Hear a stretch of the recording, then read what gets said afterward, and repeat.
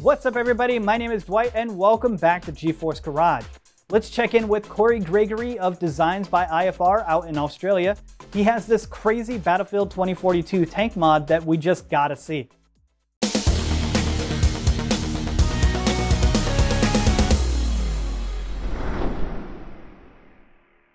G'day guys, my name is Corey. I'm from the Designs by IFR YouTube channel, and this is our Battlefield 2042 inspired tank PC. With the release of Battlefield 2042, we really wanted to create something that really takes the game's theme to the next level. Because the game was not released yet, we didn't have any assets when we were building this PC.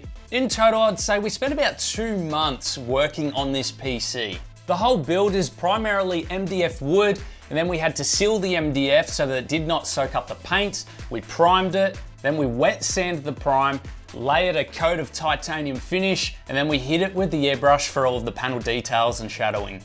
The only machinery we used for this PC was to laser cut the gun out and all of the individual little squares and rectangles that we did to create the tank tracks. Everything else is primarily done by hand.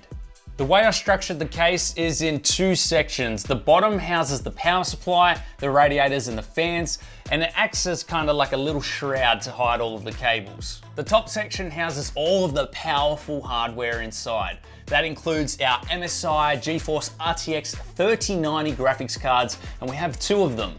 And we also have the brand new MSI Z690 Carbon Wi-Fi motherboard paired with Intel's newest i9 12th gen 12900K CPU.